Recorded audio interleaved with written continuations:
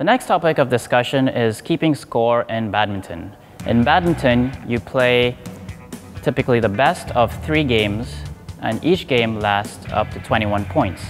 In order to win a particular game, you need to lead by at least two points. So the final score in a particular game can be 21-10, 21-19, but you cannot win a game by a score of 21-20 because, like I mentioned, you need to lead by at least two points.